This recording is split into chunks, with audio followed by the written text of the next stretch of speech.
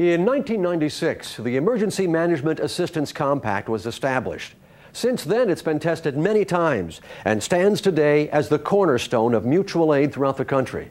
Today, we'll take a look at the EMAC and show how it allows for a quick response to disasters on this edition of Live Response.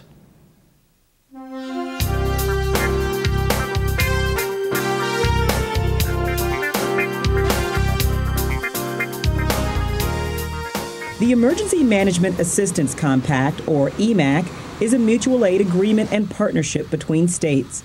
It exists because all states share a common enemy the threat of disaster. Whether it's hurricanes, wildfires, chemical incidents, or terrorist attack, EMAC is there, the cornerstone of mutual aid. The U.S. Congress ratified EMAC in 1996. It became Public Law 104 321. But not just anybody can be a member. It literally takes an act of Congress. So far, 50 states, the District of Columbia, Puerto Rico, and the Virgin Islands have all enacted legislation to become EMAC members. It's just the old concept, I think, of neighbor helping neighbor. This is really taking it, I think, to the nth degree. Leon Schaefer has been an emergency manager on the state and local levels for 30 years. Now he heads up EMAC as its senior advisor. Talk about the mission of EMAC. Well, the mission is very plain. Uh, the, the, whole uh, attempt of mutual aid is to uh, encourage the member states to identify, first of all, all of the available assets that uh, are within their state jurisdictions, local political subdivisions, um, volunteer uh, organizations, other types of assets, resources that are available legally that can be used, you know, and uh, to benefit the, the public welfare when they're at risk or suffering from any type of natural or man-made disaster. EMAC is administered by NEMA, the National Emergency Management Association, which provides the day to day support and technical assistance. During an emergency, NEMA staff and EMAC member states work together to make sure there's a smooth relay of information during relief efforts. Even with a well defined government structure in place, if you're a member state, you have certain responsibilities. After the governor signs the compact into law, you must make sure you have an internal procedure set up to receive an alert 24 7. You must have internal plans in place to request or deploy resources, and your job doesn't stop there. And then we ask that uh, they train up and keep a cadre of at least two to four people on board all times who are completely capable of performing the responsibilities and duties of the advance team or the A team either within their own state or to be deployed out of state if they happen to be you know, called upon to do that. Now, the federal government can provide a lot of the hardware pieces. They can bring in the big generators. They can bring in um, other things to support or rebuild or reconstruct the infrastructure. They can do a lot of things for uh, meeting people needs. What we'll find at EMAC is the biggest asset there is skilled people. Those skilled people were put to work in 2004 when EMAC showed its value in what was then the largest deployment of state to state mutual aid in history during response to Hurricanes Charley, Frances, Ivan, and Jeanne, a relief effort that lasted 85 days. Last year, Hurricane Katrina and then Rita hit the Gulf Coast states, Louisiana and Mississippi most notably, but its effects are still far reaching. Konstanty Michael Kaminsky is in charge of hurricane preparedness exercises for the Office of Grants and Training under the Department of Homeland Security. He's the lead planner for the tabletop exercises, meant, among other things, to provide a forum to consolidate lessons learned from the 2005 hurricane season. EMAC is, is, a, is a regional collaborative and mutual aid uh, activity. Uh, and under NIMS and, and, under the National Response Plan, uh, mutual aid and resource management are very key components. And what the exercises do and, and reinforces that, we, we have the EMAC uh, representatives because the EMAC representatives should be attending and will be attending our exercises within the regions from the various states that, that are, have compacts with one another. I think the beauty of the system and the process is that it's the commitment of all the member states to provide and step up to the plate and provide whatever type of skill people they have uh, in their employ to make EMAC work.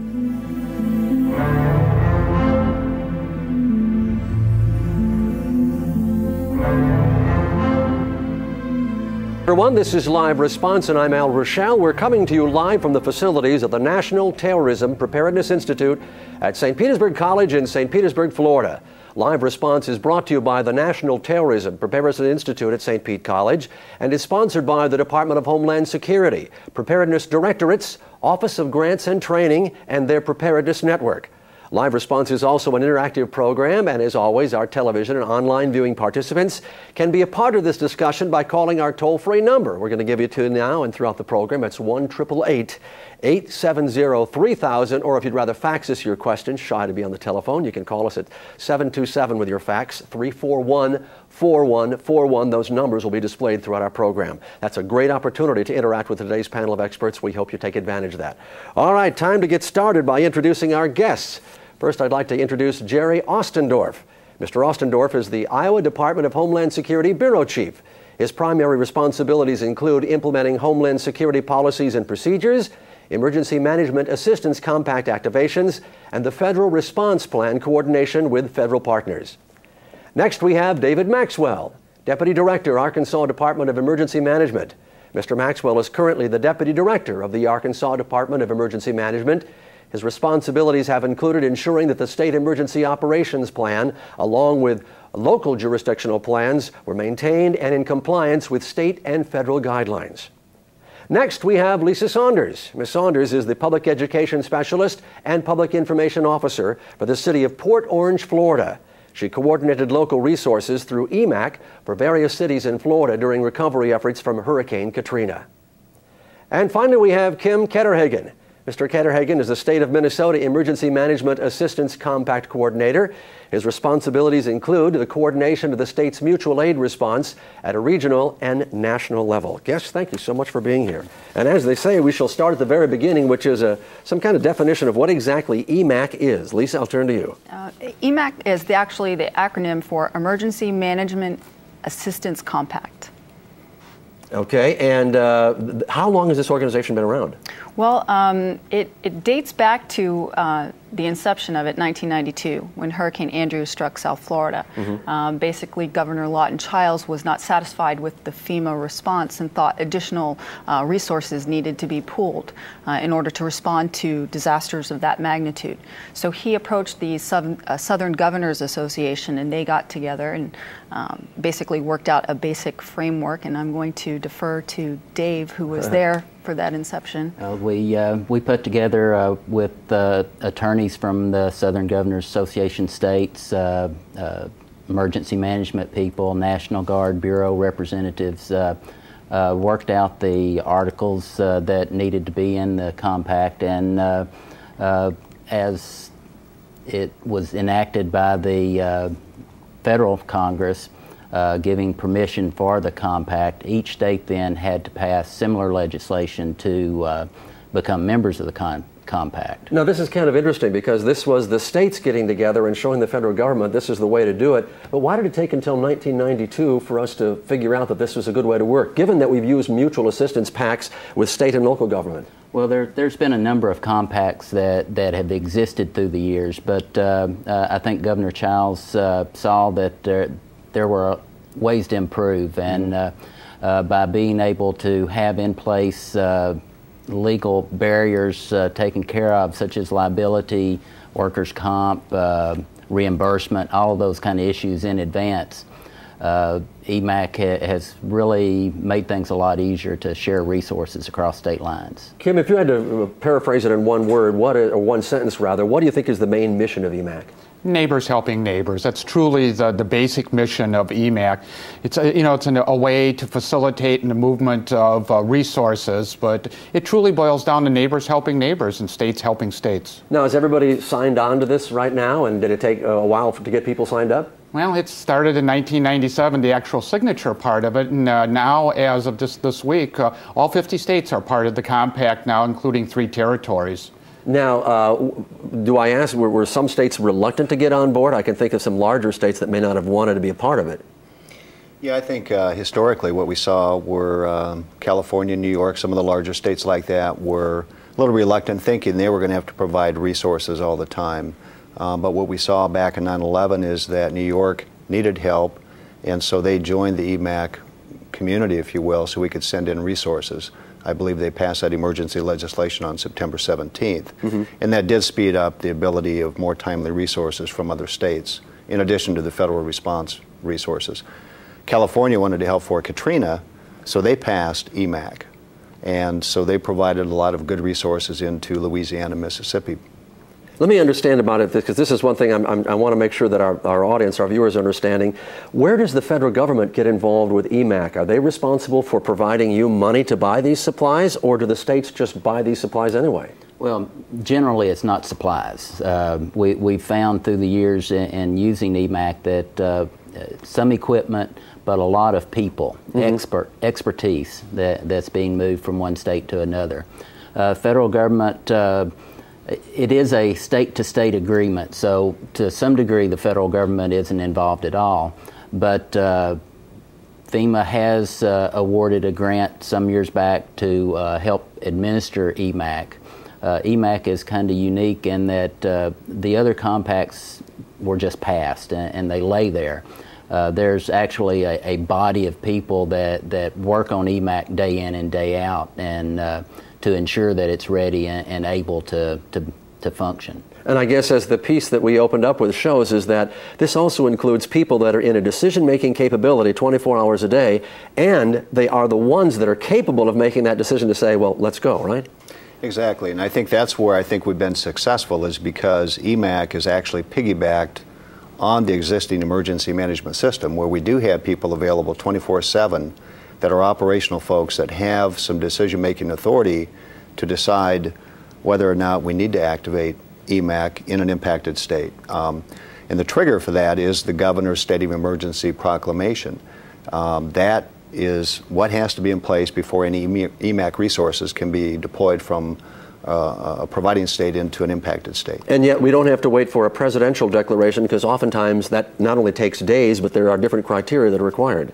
Exactly. Um, uh, we, we really try and educate the EMAC community out there that uh, presidential disaster declaration should not have any bearing on the types and the dollar amounts of the EMAC resources being deployed into the state. If they need those resources in that state, uh, the governor and the state emergency management EMAC authorized rep have got the authority to deploy those resources in and then go to the executive council to get that emergency funding out of the state coffers. Now, is this one of these programs that uh, I'm in regular uh, the news business, and I didn't hear a lot about these things. I Didn't even know they existed until we sat down and had our discussions here. Uh, is the word out that that the states are really cooperating this well and they're ready to step in even before FEMA or the federal government does?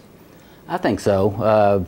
Uh, I know in, in several the the after action reviews uh, that Congress has done and other uh, have done uh, after Katrina, for example, uh, EMAC has constantly been cited as one of the, the really bright spots, uh, one of the things that worked real well in uh, Katrina. Mm-hmm. Kim, let me ask you some benefits of EMAC in the system and how does it work? What are the, th- the benefits we can talk about? Well, I think one of the basic benefits is its simplicity. It's a very simple system to use. You know, there's not a lot of of government bureaucracy that goes along with it. So being so simple to use, it's very effective, and you can use it, in, you know, for most any type of emergency. It's an all hazards uh, uh, tool that's uh-huh. in the toolbox every one of us throughout all the states in the country. Now, I guess uh, the the newsman in me says, now wait a minute, how do you determine that uh, the the monetary value of these resources you're going to request, and how do you know that one of the states might not try to take advantage of the other state and up the price of their resource? Well, there's multiple uh, safeguards in, in place to make sure that there is no gouging that goes on. Mm-hmm. But you know, each state knows what their resources are and what those resources are worth. And, and that's what truly we move from state to state is the value of the resource that, that's being requested. And nothing more and nothing less. And you know, and, and I think that is the safeguard that keeps it for there is no monetary gouging to it. Mm-hmm. And we're talking about a very quick response. Lisa, for example, in Florida, we responded very quickly uh, to the folks in Louisiana and Mississippi. Yes, uh, one of the great things about EMAC is that it doesn't have to necessarily be uh, a resource that doesn't come from the local level or from an organization. It just has to be put into the system through your state EOC and work it that way. So we were able to use cities that weren't impacted from our hurricanes or our storms get those people together, work through the EMAC system, and provide support to a neighboring state. Now, what does it take to get this thing going? Because I can envision bureaucracy as some people see it as well, they're going to give you a contract that's 50 pages long and you won't get it until three or four days into the process. How simple is it?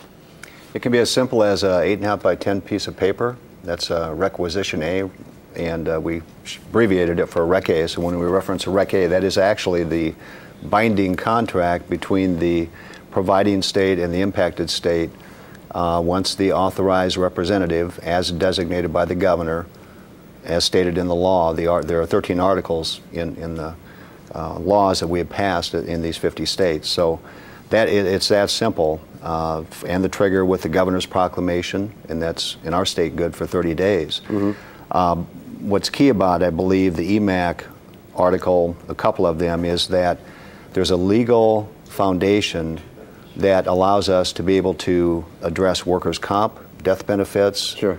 things like that. And then we also have a reimbursement article in there so that after the response is done, we can pay everybody back that provided assistance in that state. David, if you would walk me through the process of how this actually works in, in practicality. Well, it all starts, uh, as Jerry said, with that governor declaring a disaster. Mm-hmm. Uh, then uh, a couple things can happen. Either the impacted state themselves puts out a message over the uh, system, or they ask for an, an, A team to come in to assist them in uh, brokering the resources. If they request a, an A team, an advanced team, uh, they would come into the the assist or the requesting state's EOC and kind of broker all of the states uh, other states' resources to, to handle take that burden off of the requesting state. Now, when we say brokering, this is apparently all done before you get in the heat of the battle, correct? A lot of times, uh, I think uh, the emergency management family around the nation understands what Arkansas may have as far as specialized teams, search and rescue, for example, mm-hmm. or disaster medical assistance teams. So we, we do communicate, we do have uh, kind of a database of things that have been provided in the past. We do know where those came from, and we can look at uh, calling upon those in the future. And are you likely to get more resources from the state immediately adjacent to you? Or, because I heard a story about how in Indiana, for example, they were offering assistance to Biloxi, Mississippi very specifically, and apparently chose that, that area because they've been getting a lot of requests. Uh, so, is it usually the closest neighboring state that offers assistance? Usually we look at the closest neighboring state because time and distance. We mm-hmm. need the resource now, you know, so to take resources that are from a long distance, of course, we run into a time problem. There. So if we move resources that are closest to the uh, impacted state as we can, and then fan out across the state, uh, the rest of the United States as we need it, and bringing those resources in, one complementing the other, and it's mm-hmm. truly a tier response. What if you don't have something that the neighboring state needs, and or you have a large population, you're afraid if you give away too many of your resources right now, you could get burned down the season. I'm, I'm, thinking of how long hurricane season is in Florida, which is forever, it seems like. Lisa? Um, you, you don't have to supply the resources to a requesting state if you need them for yourself. Uh, it, it's basically um, what you can provide, you provide. All right. Our discussion is going to continue, but we'd just like to remind you that St. Petersburg College also issues what are called continuing education units, or CEUs, for live response for those programs. If you'd like to register for those CEUs, we make it very simple. Go to the NTPI website and you click on the Continuing Education Units link under Training. And that link will take you through the registration process and the login process. Now, after you log in, you'll be able to view program videos, take the program exam, and fill out an evaluation form. And with an exam grade of 75% or better, you will immediately receive an online CEU certificate. Also, after viewing live response, please complete a viewer evaluation of the program because your input and comments are very important to us. Now let's take a look at what's coming up in our next ComNet program.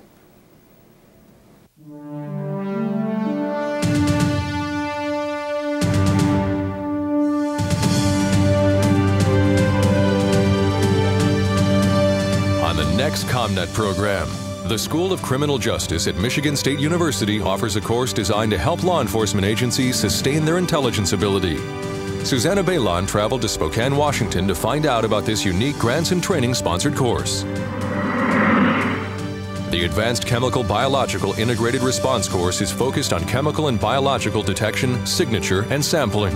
David Clue visited Dugway Proving Ground and talked to instructors and participants about this comprehensive course.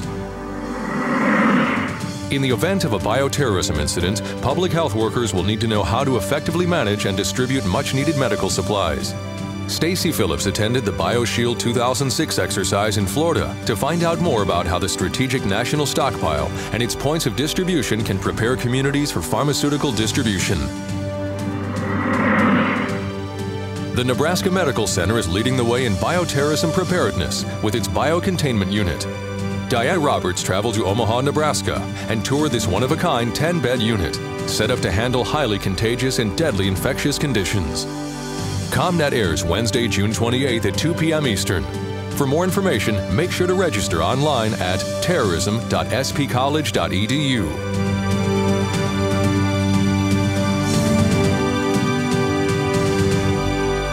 This is an interactive program, and we welcome you back and encourage you to participate. Again, you at home can be a part of this discussion by calling our number. It should be on the screen right below me right now 1 870 3000, or you can fax your questions to us at 727 341 4141. Just giving you a reminder if you've got questions, do it early on in the program because if you wait to the end, you may not be able to get through.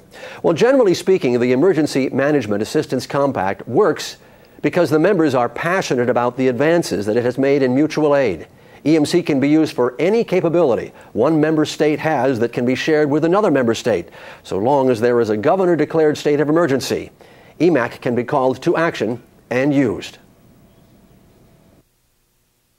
Well, each state, of course, as, you said, they have to uh, legislate it in the law, and the governors have to sign it into law.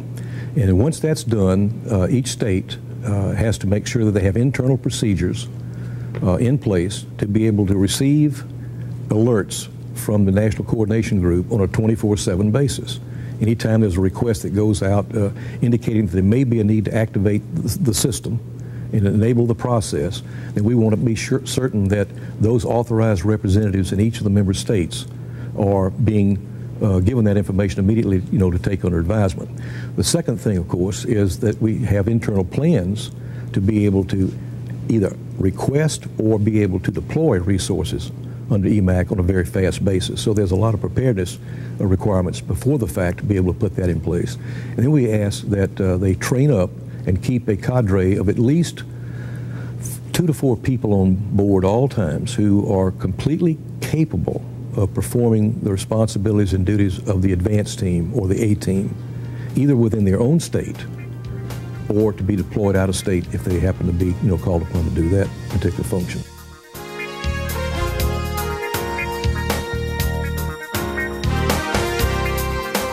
One thing that we have seen stressed in these first two segments that we've been talking about in our program has been this need for the governor to declare a state of emergency. And I just like to ask, why is that so important and why is that the triggering mechanism? Because as you remember, when Katrina went, went through, there were people saying, well, governors of these particular states didn't ask for help, but they did. Why is that so important, the governor declare? Well, it's, what it's done is actually uh, been tied into the emergency management law in each of the states. Mm-hmm. And there are certain rules and regulations that can be waived that the governor has the authority to do if it does hinder public safety response. So, in that same code for each of those states that have passed the EMAC articles is where that resides. So, you can um, declare and uh, deploy EMAC resources, and then that will allow you then to cover the workers' comp, the liability, the death benefits. If, if you didn't do that, right. there would be some high risk there. If something did happen, it would not be covered by law. Well, because there was actually a lot of discussion that it, the storms were so bad in Mississippi and Louisiana that there really wasn't anybody there to make the, the call because there was so much devastation had taken place. Yeah, and I think that uh, one of the good lessons learned out of out of that piece of it is we could have probably brought in a lot more EMAC resources, mm-hmm. uh, but they were struggling with the incident command structure and so I think in the future, what we're going to encourage states that get impacted that heavily is to bring in incident management teams sure. to support the local and the state incident command system so that you can bring in more resources and you got the people that are experienced to manage those resources. See, EMAC doesn't manage the resources. We get them uh, at the request of the governor through that designated rep. Mm-hmm. And once they get into that state, they are managed by the local and state officials that need them for that mission. And the local folks are the ones that know better than anybody else what needs to be done. Exactly. David, walk me through this now. If you're a member of, of EMAC, which now we know that all 50 states are, what are the roles and responsibilities that that state has to cover? Well, I boil it down to a couple real simple things. Uh, one, you have to supply the re- requested resources if, if you at all can. Mm-hmm. Uh, as a member state, you have that responsibility. The other is that, that you maintain uh, that authorized contact and, and uh, the designated contact so that you can operate uh, uh, within your state and, and provide the assistance or, or request the assistance as needed. Uh, also, having trained people on staff ready to go to either go out as an A team person or, uh, or to do EMAC work in your state. Now, does that mean states that are adjacent to, let's say, the southeastern Gulf Coast region? Again, I'm, I'm, I'm relating most of this to uh, hurricane damage. Does that mean like, like an Arkansas has to have more people on staff ready just in case something like that happens to the south of them and they need to send people? No, not really. Uh, you know, we all of us have the staff that we have, and uh, so we we deal with that as we can. You know, it's uh, one of the benefits of, of EMAC is that for states that aren't impacted by their own disasters very often, it's a great way to keep your staff uh, sharp, uh, well trained, send them into a, another state's disaster, really. Now, relating back to again what happened with Katrina, again, I'm, I'm, relating a story that I heard that, eh, eh, and I'll mention it again, Indianapolis sent a number of their people down to Biloxi. They picked a state. Would Minnesota do that same kind of thing in thinking about what regions would we be more, more likely to need help and to try to identify what you could do for, obviously, it would be something like Wisconsin or Iowa or the Dakotas with severe thunderstorms, tornadoes, ice storms? Well, the EMAC system is set up in a regional system somewhat for organizational purposes. We mm-hmm. have uh, that mirror also the FEMA regions. So as well, we uh, um, you know, we look within our own region or the interregional response capability. But uh, not necessarily uh, we're able to reach out anywhere in the country. All the EMAC states are able to do that. Um, you know, unfortunately, some areas are more prone to uh, catastrophic events. And, you know, and I think, Al, that's truly the point is that we have to keep remembering that EMAC is a tool to be used at uh, large incidences. And that goes back to the question you had asked earlier is uh, what, you know, why have this governor's uh, declaration and, and the answer really is that that is that we're not using EMAC as a local tool. It's an interstate response tool. And I think because of that, we have the capability of responding and being prepared nationally. Mm-hmm. So if, if, if the average person sitting around at home watching TV sees a disaster occur, I guess the natural inclination is to think, well, it's local and then the feds come in, like the cavalry coming in at, at, the end. But in reality, it is the states that are pouring in their resources to begin with. Lisa, again, I'm thinking about what Florida did for Mississippi and Alabama. That's true. Uh, the, one of the great things about EMAC is it works in conjunction with the federal response, not against it. Uh, so it doesn't replace federal aid, but they kind of move parallel to each other in the sense that the state EOC manages the incidents. They know that they're going to need resources resources and they know what resources they can get through EMAC, through those contacts that they've made ahead of time. But they also have the opportunity, if they wish, to go through the federal, uh, through FEMA as well. So it happens simultaneously and seamlessly, which makes it work well. Is there kind of like a, a wish list someplace? Maybe not a wish list is not what I should say, but, but a list that all of you states can look at and say, you know, here's the commonality between us. Here are the kind of supplies and kind of services that we're going to need in a big mass casualty incident that, that you work off of? I think training um, and getting those contacts in position prior to the d- disaster is the key with that. Uh, basically, emergency management is a small community, even though it spans a great geographic region.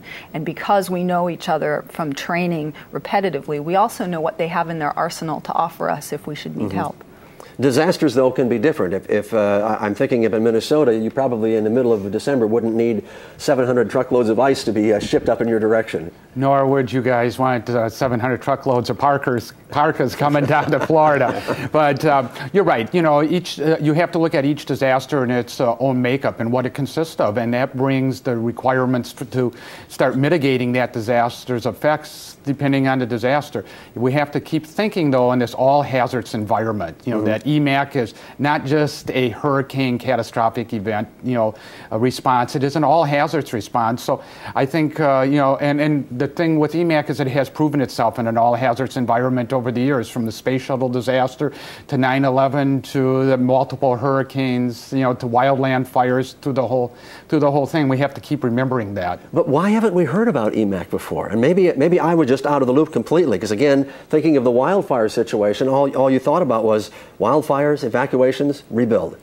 I think that maybe uh, because EMAC is mutual aid in its rawest form. Um, I think that when you hear mutual aid, it should be synonymous with EMAC. You just have to understand that EMAC takes it a step further and just defines it, makes it uh, neater. Mm-hmm. Now, the reimbursement process is the second thing that kind of crosses my mind.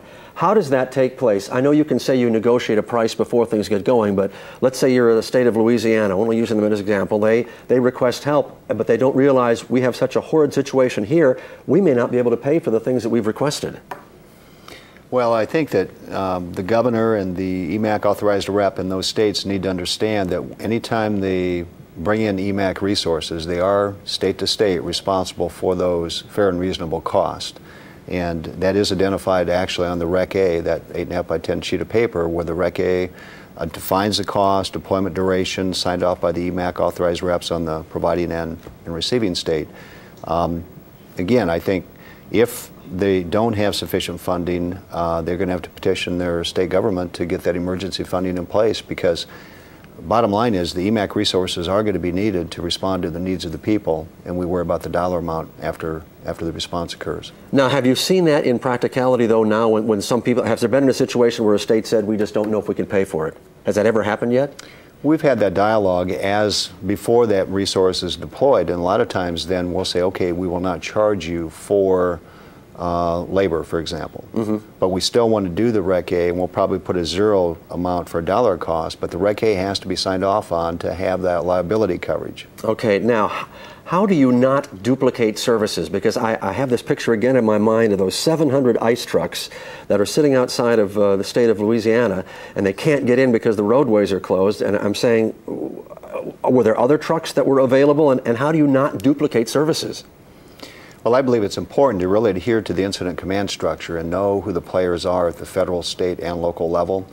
There are decision makers within that structure that, that can decide where the resources are coming from, whether it be from the private sector or through EMAC or through the National Response Plan. You've got a federal coordinating officer and a state coordinating officer that should manage those resources so you don't duplicate that effort or that product. Mm-hmm. Has, has it ever happened, though, you've had multiple duplications? Of course, I use the word ever. Yeah. Is there a worse uh, word than that? Not that I know of. I mean, there, there is that uh, control mechanism of the REQ-A, so, so you know exactly what you've signed off on to, to mm-hmm. get. And I think the other real benefit to all of that is that it helps to prevent uh, people from self deploying. You know, you get uh, you, you get overloaded with people, good people that, that want to help, but with the REQ-A's, you know exactly what you're getting and, and what you've asked for. And probably brought out more dramatically than uh, in New York when the 9 11 incident occurred. You had all these New Jersey firefighters showing up, and they were ready to hook up their hoses to the, the hydrants, and they couldn't because New York and New Jersey didn't have the same connectors, mm-hmm. something that you would think would be so basic. But yeah, and I think that's very important because I think we've got a lot of resources in the private sector and in local government, and uh, they wanted to get engaged for Katrina, um, and, and, the pre-planning that needs to occur now so they can do it in the future is to make sure they work back through their professional association, and that association should be in contact with the state emergency management office. For example, we have disaster medical assistance teams. We bring in private doctors and nurses local public health, state public health, other folks that are in the healthcare business to mm-hmm. form this disaster medical assistance team. So you've got a county worker, a state worker, and then a private person. Uh, the law that we have on the books in a lot of states allows you to bring those people on temporarily as that state sponsored team, right. and they become uh, temporary state workers. So you can work the issues of workers' comp, repayment, in that in that whole thing. So Well, it's- it's- that's a very important thing I think Yeah. that people need to understand because there are all kinds of resources out there that do need to be organized. Yeah, and I, I think that's uh, important too. It- It's it's almost any resource that, that you can think of, whether it be private, uh, state government, local government, uh, under the, the auspices of, of EMAC, we can send them. And, and it's important for those folks that, that want to be involved and, and have resources to uh, talk to their state's emergency management to find out where they fit into the whole system. I, All think. I think each state really needs to take the time to look at what mechanism they have in place because it's truly different from state to state. Some states, such as in Minnesota, we use intergovernmental agreements where we actually reach out to local units of government and make them deployable state resources. The other point I'd like to make, Al, just on this topic right here, is when we talk about brokering resources, I don't want the impression to be out there that we're sitting down and haggling over 10 bucks here and 10 bucks there, of, yeah. of, you know, because we need resources and we need them now. We really, when we broker those resources through EMAC, we're looking at the most appropriate resource that can that we can get that needs to be uh, dispatched in its quickest time frame, and that's really the brokering process. It's really not the, the money, and I and I've heard that come back. Why are you guys so worried about the money? We're not. We're worried about applying the right resource to the right job. And I, I don't think we've really described how the system works. Uh, we, there, there's a, uh, a com- email system that uh, we can reach out to all of those designated contacts, all 50 states now, and the territories uh, with one email and request any resource. So, you know, we, we, there, there's a mechanism in place to, to really coordinate that. All right, we're going to continue on with our discussions, but we'd also like to remind you that you can register for those online CEUs at our NTPI website. Also, you can help ensure that we're meeting your learning needs by filling out one of those evaluation forms. To submit an evaluation of our program, you go to our website, the NTPI website, and just click on the word evaluation. Pretty simple process.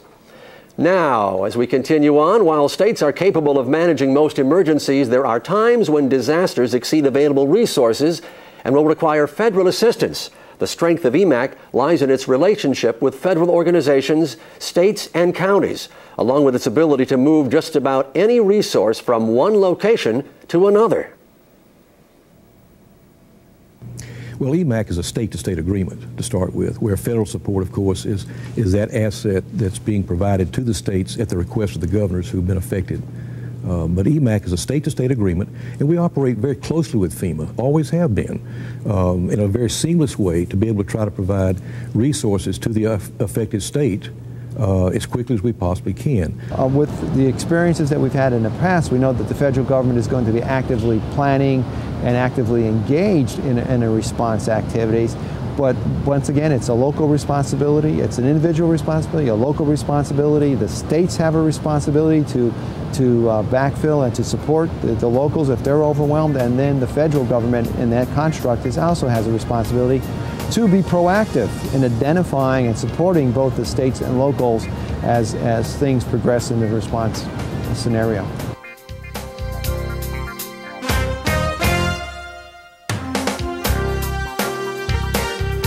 All right, as you know, this is a live program. That's why it's called Live Response. We're interactive, and we'd like to hear from you right now. This is the time when you can get on your telephones to ask us any questions you'd like. Our number here is 1 888 870 3000. One more time, 1 888 870 3000. Or you can fax your questions to us at 727 341 4141. Again, the time to ask questions is now. We don't want to run out of time. All right, gentlemen, let's continue to talk now what I call the big picture. And one of the things that I, that I was thinking of that, that actually you mentioned, Jerry, just a couple of seconds ago, if you live in one state and you're licensed to practice in that state, what happens with your license if you're requested to go to another state and you're part of this EMAC agreement? Well, I think that's a big issue that a lot of the uh, health community folks have really been concerned about, but I believe that EMAC and the laws that the 50 states have passed, uh, those articles, uh, one of the articles in that EMAC law does require for the reciprocity of professional licenses to go across state lines during that governor's state of emergency proclamation duration. So there should not be any issues as it relates to professional licensures across state lines because we have deployed disaster medical assistance teams, uh, a couple of them uh, to Florida in 2004. We did in 2005 as well. So that system works. The teams do work and their licenses do transfer, and it's a valuable resource, and I just don't want to see that EMAC resource get delayed just because Oh, people sure. are questioning the licensure issue when We- in fact it's not. We have a phone call right now. Elizabeth, where are you calling us from, Elizabeth? I'm calling from Brooksville. My question is, uh, last year my car didn't start. I was evacuated uh, by bus, and they didn't allow me to take everything I needed. I was set up, allowed to set up my tw- uh, big bed, uh, uh, bed, and um, after the situation's over, they just dropped me off my home without any utilities. All being that uh, I was supposed to be in a nebulizer and no phone facilities. What can this people help me out as far as this year is concerned? Is to be in a shelter. Okay, let's, let, me just ask it just in, in general. Local resources. This is a woman who has a concern about who's responsible in the local resources, and if this is part of the EMAC response as well. Um, well, sh- with respect to sheltering and what happens locally in terms of evacuation and stuff is really very local. Um, often uh, counties are responsible for um, issuing those evacuation orders based on the information that they're getting from their state EOCs. Uh, in terms of um, where EMAC would play in would be if where this woman was living, if her area would, couldn't handle the whatever the problem was and it expanded to the state and the state couldn't Sure. handle the problem, then it would go through EMAC to uh, receive resources that could help her. And that certainly was the case in Louisiana because people ended up being transported to Texas. A lot of people, people went up to Atlanta and moved around, and, I- and I guess that would have, uh, probably could have also been kind of an EMAC responsibility. Let's let's talk about. Give me some more concrete examples now of how EMAC has been able to work. And uh, well, let's go back to the uh, the hurricanes, Rita and Katrina. How specifically did EMAC work in those situations? Well, I I think Jerry, Jerry? probably has most uh, experience with that since he was there. Yeah, I was fortunate enough to be in the State Emergency Operations Center uh, pre-landfall. I was there for what six, seven days, and and uh, as you can imagine, um, the th- this event was catastrophic, and, and there were a lot of resources needed. Uh, a lot of states were offering them up. Um, search and rescue was a big one. Uh, but one of the ones that I wanted to mention, and a lot of times we think of these resources actually deploying from that state into the impacted state, kind of in the impacted area. But we did a EMAC REQ-A for what we call newborn screening. All of the new babies that were being born in Louisiana still needed to have their blood tested for 10 diseases. And the hygienic lab in New Orleans was actually destroyed because of uh, the Oh, yeah. Um, we did an EMAC actually with the hygienic lab folks in Iowa, and they did it remotely, 1,200 miles away, and provided that critical service so that those babies uh, and the results of the, the blood test could get back to the healthcare provider and treat that baby so uh, when they're 21 years of age, they're standing up, they're getting a diploma, not in a diaper being mentally retarded. So I think there's a quality, of, quality of life thing that really was beneficial there, providing that critical service that many miles away. hmm Any other examples? Um, yeah, I th- in Florida we have uh, a plethora of disasters, and so we have many examples where we've used EMAC successfully. And I think uh, one of the benefits of EMAC is that you can be creative with it. Uh, we used it uh, during the 1998 wildfires to uh, get in additional aircraft, uh, things that's right, to. yeah. Mhm. Uh, and during Hurricane Katrina, we actually used private resources, made those state assets, and worked through the EMAC system.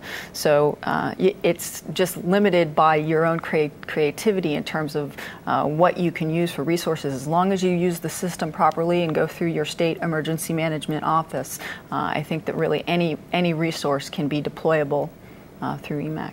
And again, you go ahead. I think one of the great successes was that partnership building between the public and private entities. You know, government reaching out, working hand in hand with their private partners. And I really saw that come to great fruition with uh, the last round of hurricanes. You know, uh, building that partnership, thus making us stronger now for this season that's starting very soon here.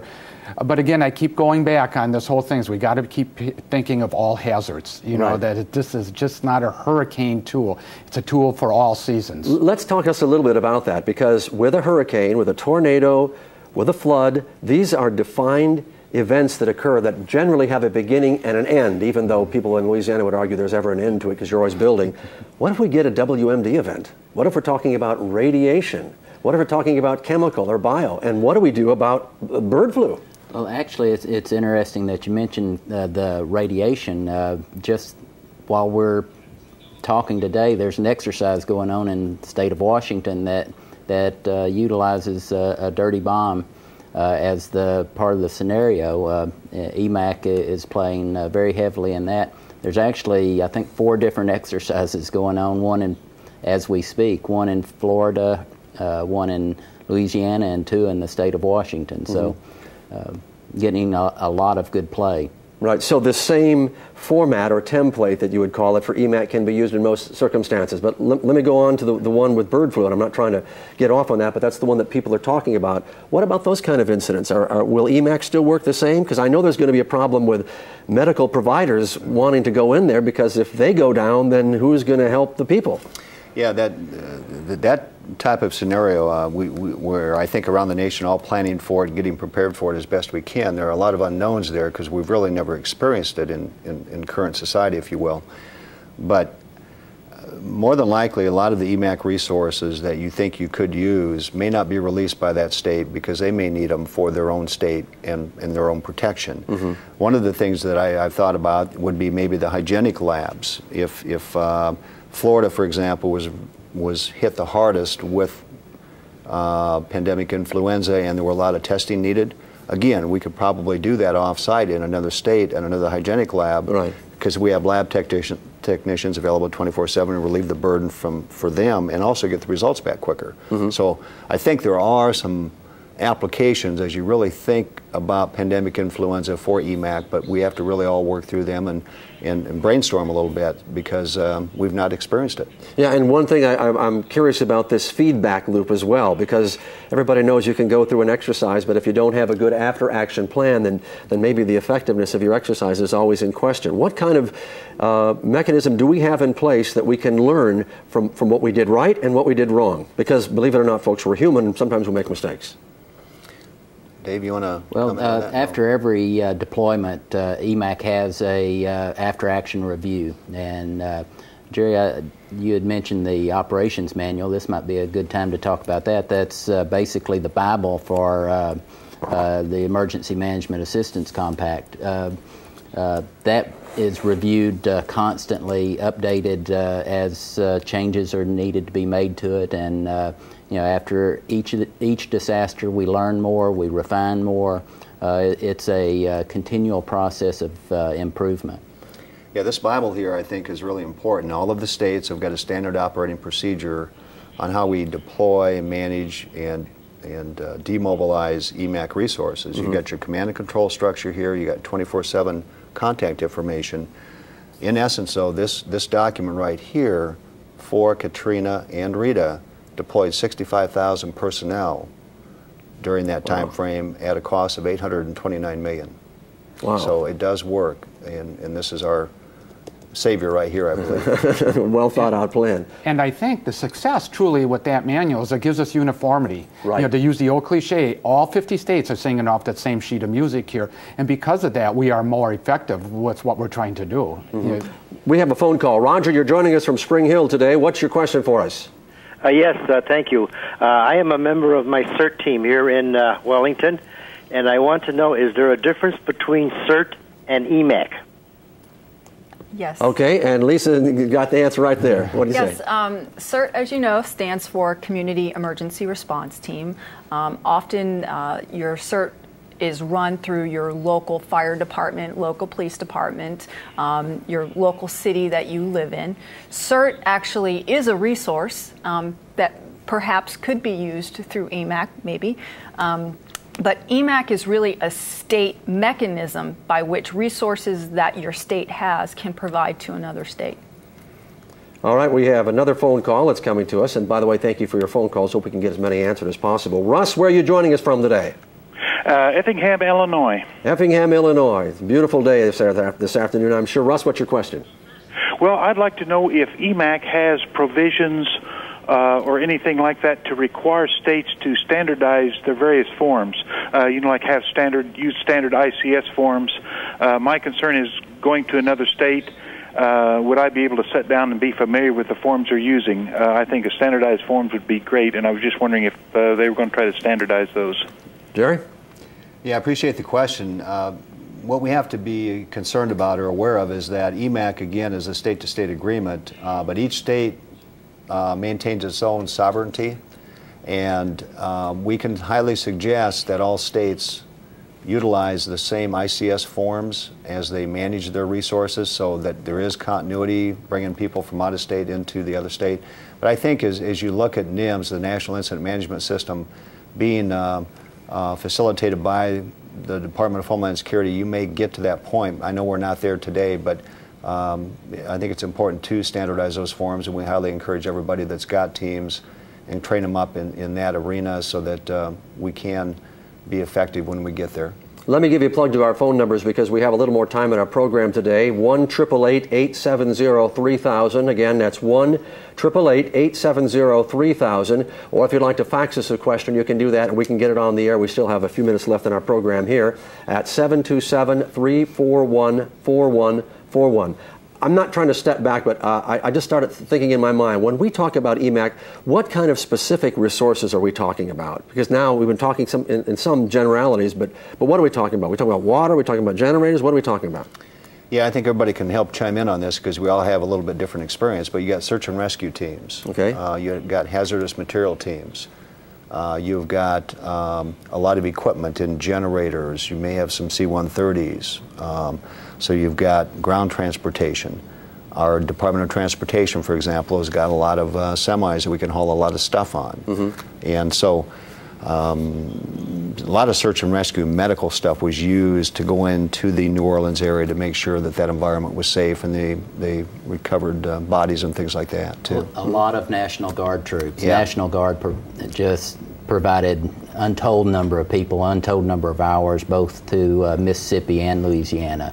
Uh, I know we sent uh, Arkansas State Troopers, uh, State Police, uh, ambulances, Mm-hmm. uh, you know, really just about anything that uh, of that type that you can think of that we're only really limited by our imaginations. Mm-hmm. One of the things that um, my city did through our state EMAC was we actually sent IT professionals um, over Oh. to Long Beach, Mississippi to help bring up their infrastructure so that they could financially uh, get some things together and move forward. We even sent people over there to help them fill out paperwork, FEMA paperwork, um, to show them what, what they needed to do after, after a disaster. So it could be something as simple as just a consultant um, to something as complex as a DMAT team.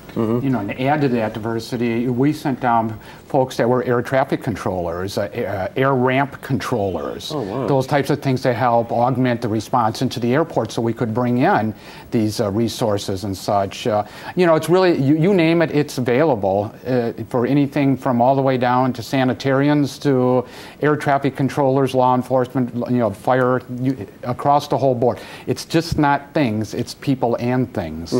Yeah, I think a couple of other ones I was just thinking of too then now were uh, building inspectors. It was Mm-hmm. important to make sure that Oh, yeah. structure was safe before they went back into it. Uh, environmental health folks, because as you can imagine, that water that got pooled there needed to be really assessed to make sure it was a safe environment. Mm-hmm. So those are a couple of other ones too that we just thought of. So. And uh, we have another phone call coming to us from the state of Minnesota. Terry, are you there? I am. And what's your question for us today? My question is how do healthcare professionals get in contact with the DMAT people so that we can become an available resource? Okay, uh, being it's a Minnesota one, I'll take that one. Okay. I can answer. Um, we'll do a two-parter then, Okay. real quickly. Uh, you can contact your local DMAT. Each state, you, well, not each state, but most states have DMATs that are already organized. Uh, in uh, Minnesota, you would want to contact Dr. Hillman out of the Allina Group. Uh, uh, he is the DMAT chair for that area. Or you can go to FEMA uh, as well, and FEMA can help you uh, contact the proper DMAT uh, people to, for your state. And I think uh, what we've done in Iowa anyway is we have uh, encouraged all these healthcare providers, uh, doctors and nurses, et cetera, to actually contact our state Department of Public Health because they're the lead agency for forming this DMAT team, and uh, that's how they get into the system. Now, if for some reason they uh, are not getting any progress or any uh, benefits there, then we have them called direct into our state emergency management office, and they probably could go to your Minnesota emergency management website, I would imagine. Absolutely. You know, we'll register you or contact, you know, get you in the connection that you need to go with on that. Now, we, have heard a lot, a lot of great success stories, but, but there was uh, something that was brought up here that maybe we didn't strike on just enough, is that there was some concern even when people were criticizing what happened in Louisiana and Mississippi. They said, people were jokingly or non jokingly said, well, you know what? Walmart could have gotten all this stuff there because they have a better transportation system.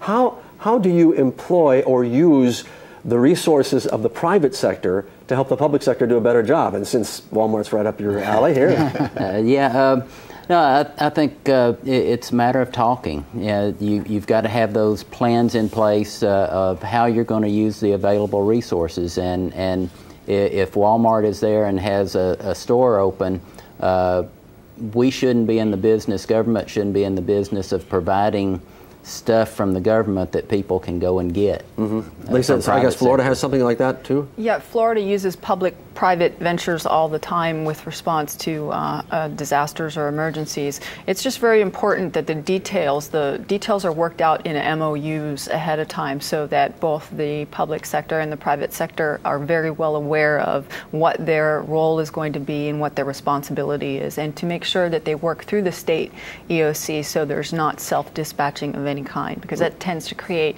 more problems than if they weren't dispatched at all. And maybe just another reminder as we move into the hurricane season that the government, your local people expect you and me to live on our own for at least 72 hours. So we need to have those kinds of supplies available to us. And uh, there were some pretty horrific examples of people whose houses hadn't even been touched. All of a sudden, the first day showed up in the food line and the ice line when they probably had all the resources they need. The future of EMAC, where do we go from here? Lisa, start with you. Um, I think that we continue down that public private venture um, avenue, and we also start uh, working through our associations, have those professional associations contact the state EOC and work through EMAC so that the EMAC representative in your state knows that you're there as a resource. Mm-hmm. And to work through your association because individuals should not be calling the state EMAC officer uh, trying to get on board as a resource. It has to be through your professional organization. Okay, Jerry? Well, I think it's important for the uh, people to understand that when we have a change of elected officials at the federal, state, or local level, the concept of how we manage resources and how we respond to disasters to include emergency management assistance compact doesn't change. That, that system, if you will, and those mm. people are always there. So when we have a new official come in, it's important to train them up so they understand sure. our concept of operations to keep this thing in, intact. Absolutely, David.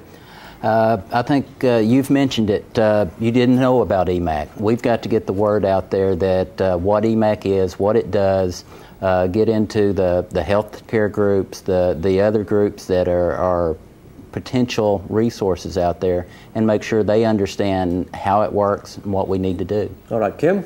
I think we need to take it even to a more local level than what Dave says. I think each state needs to be able to go out there and identify what they have and how they can apply it to EMAC and make sure that they're educated within their own states of what this is all about and how it works.